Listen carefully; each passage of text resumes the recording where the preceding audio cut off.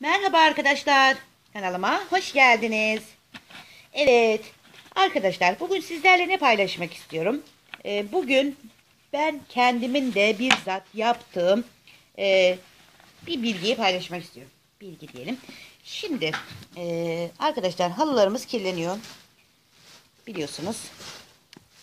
E, bazen bunları genelde yıkatmaya veriyoruz. Tamam okey doğrudur. Ben de öyle yapıyorum. Ama elde yıkadığımızda oluyor. Mutlaka. Ben şahsen ben elde de yıkıyorum. Ee, evimin önünde betonumun üzerinde yıkıyorum.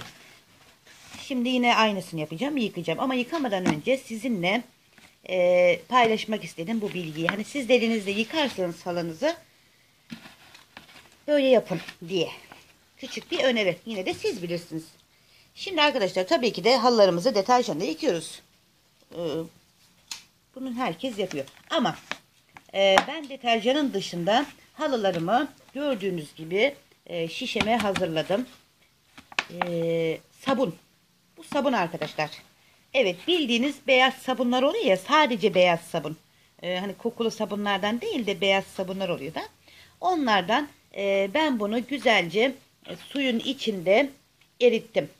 Yani hiçbir şekilde sabun tortusu içinde kalmadı.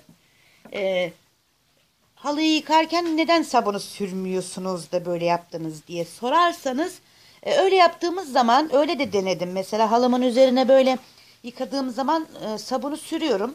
Ama o zaman sabunun eridikçe yapışık sabun lekeleri kalıyor. Ne kadar olsam da daha fazla uğraştırıyor.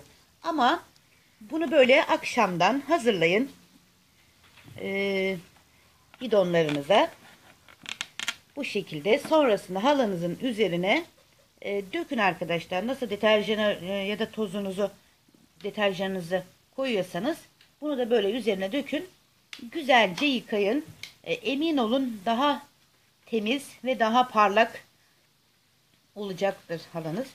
Sabunla halı yıkayan çok biliyorsunuz. E, dediğim gibi sabunla e, sabunu sadece halıya sürmektense böyle sabunu e, su haline getirip sıvı haline getirip kullanmak daha mantıklı diye düşündüm.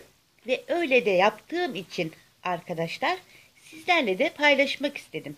Umarım bu küçük bilgi sizin de hoşunuza gider, işinize yarar. Evet ben şimdi bugün biraz e, bir iki tane halım var arkadaşlar. Onları yıkayacağım. E, hazır bunları yıkayacakken sizinle de e, bu bilgiyi paylaşmak istedim. E, sabunumu bu şekilde yapmışken sizlerle de sizlere de göstermek istedim. Böyle işte arkadaşlar. Siz de yapın. Eminim sonucundan memnun kalacaksınız. Dediğim gibi bu e, eritilmiş sabun. Sadece sabun. Görüşürüz arkadaşlar. Desteklerinizi bekliyorum. Sizleri seviyorum. Hoşçakalın.